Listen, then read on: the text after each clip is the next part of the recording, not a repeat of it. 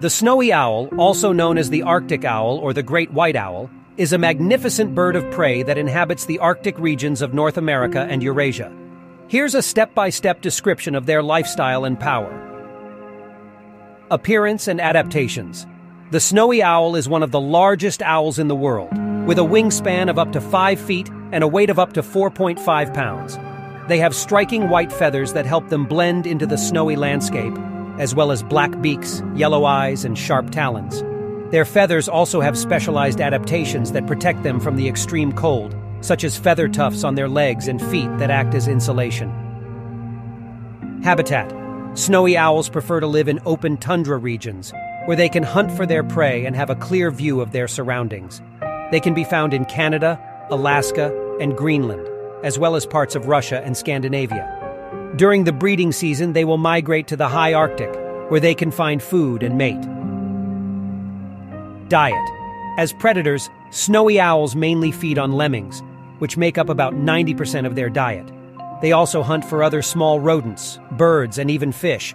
They are able to detect prey from great distances, thanks to their excellent eyesight and hearing. Their sharp talons and beaks allow them to catch and kill their prey quickly. Breeding Snowy owls typically mate for life and breed during the spring and summer months. They build their nests on the ground, usually in a shallow depression in the tundra. The female lays a clutch of 3 to 11 eggs, which she incubates for about a month.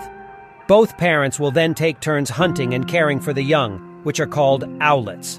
The owlets will stay with their parents for several months before they are ready to leave the nest. Behavior Snowy owls are primarily active during the day, but they can also hunt at night.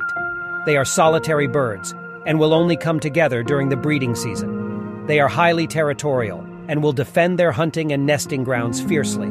They are also able to fly long distances, sometimes traveling up to 1,500 miles in search of food. Predators.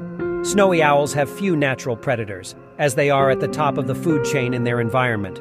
However, their eggs and young may be preyed upon by other birds, such as Arctic foxes and other birds of prey.